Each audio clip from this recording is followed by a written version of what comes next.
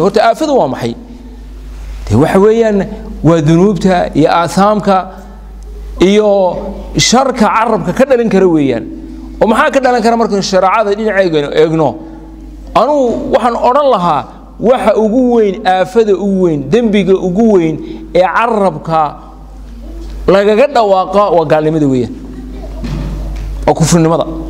Wax kale haddaad ka timaado waxa weeyaan aafada ugu weyn iyo dembiga ugu weyn ilaahay naga ilaaliy dhammaanteenba iyo caruurteenna iyo dhammaan nusnoo dhanba aafada ugu weyn iyo dembiga ugu weyn ee carabka lagaga dhawaaqi karaa waa gaalnimo. Gaalnimadaasi markaa noocyo badan bay leedahay. Noocyo badan ayay leedahay. Waa qof yidhi de anu gaal yidhi gaal baanahay carabka kaga dhawaaqay dee u gaaloobay cudurdaar waxba loo loo eegi maayo. Ninkiina anu waar waar anuu diintii islaameed waan ka baxay oo gaal baan ahay ilaahay waan ka kufriyey. Dee isagaa isku markhaati furay? Ya. Qofka iqraar la yimaada ee isagu isku qiray inuu diintii nebi maxamed sal lla slam ka baxay islaamnimadiina ka gaaloobay ilaahayna ka kufriyey waxa uu gaaloobay.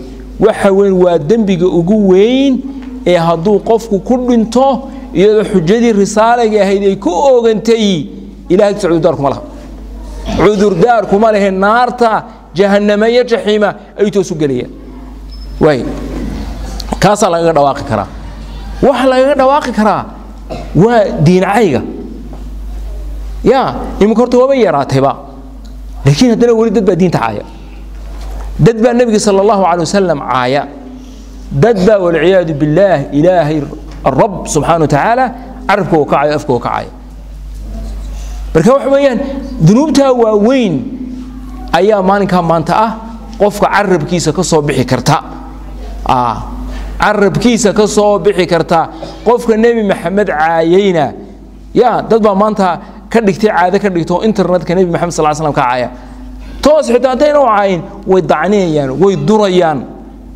Waxyaaba badan oo afcaashiisii ahayd ayay maalinkaa maanta istihzaa ay ku samaynayaan carabka weeyaan waa aafada carabka weeyaan. Qaar baa diintii ku jeesjeesaya ahlu diinkii iyo culimmadiiba ku jeesjeesayaan wax waloo diinta ka mid ah ayay ciyaar iyo riwaayad bay ka dhiganayaan. Soo garamaysiin waadadu xoolaha ummadday cunaan. War xoolaha ummadda xaggay waadada ku cuneen ya? Suuqaasaad maraysaa? Waxaad waxaad maqlaysaa? Yani qaar baa markaad la hadasho korna waar waa iska kaftamay dee kaftan maaha? Arrimaha kafta gelin baa jira.